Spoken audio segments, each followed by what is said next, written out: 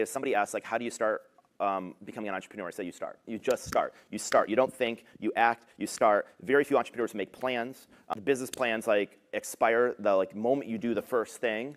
And so instead of making plans, I would just make something. And it makes something with the resources you have, with you and your friends, anything. That process of making something is great. And by the way, the other trick I'd say is make something for yourself.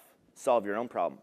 The first weekend, Joe and I were like, wait a second, let's make a little website so we can rent our apartment and make some extra money. That did not seem like a billion dollar idea, renting three air mattresses in an apartment. And so there's a lot of investors that say we like to invest in big markets. Well, what's the market size for people sleeping on air mattresses? So the problem is that like I wouldn't focus on markets, I'd focus on solving a problem for yourself or somebody in your life. It doesn't even have to be a big problem, it could be something kind of fun and just start making, just start doing something.